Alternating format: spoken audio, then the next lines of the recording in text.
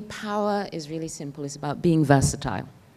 And that's the opportunity that the younger generation has that perhaps we were the first to get there.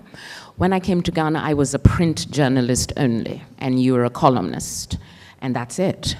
And then I went from there to doing radio and then television and then producing and directing and producing content. And it was a progression.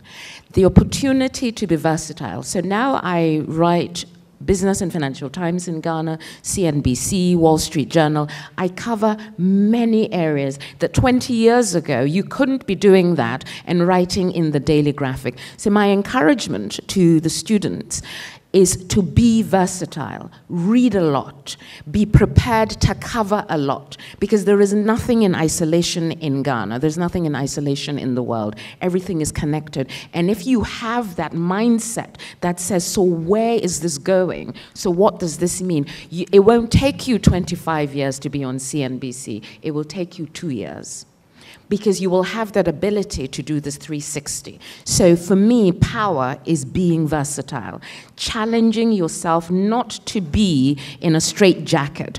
I just want to report the news. I just want to be a director. I just I want to be everything. So people say to me, "What do you do?" Everything. Obviously. So that's power. To me, power is being versatile and being prepared to be versatile and have that courage.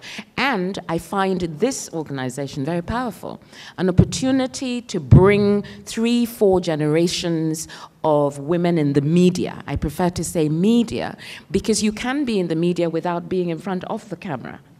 You can actually own a station you can actually be a shareholder in a successful radio station or television station.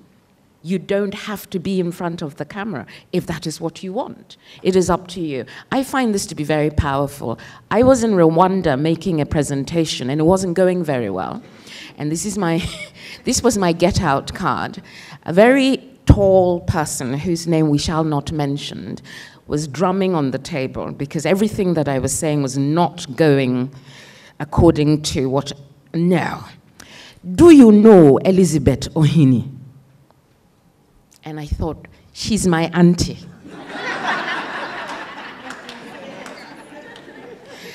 so I would encourage the young journalists in this room who are here today to take advantage. There are so many. I see Wendy Isiam all the way in the back, back in the day of the Chronicle. These women can hold your hand.